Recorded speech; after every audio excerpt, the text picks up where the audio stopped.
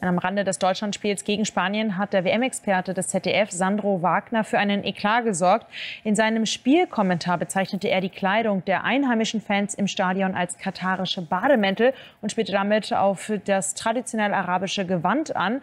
Zuschauer werfen Wagner unterschwelligen Rassismus vor. Das ZDF hat sich von der Aussage distanziert.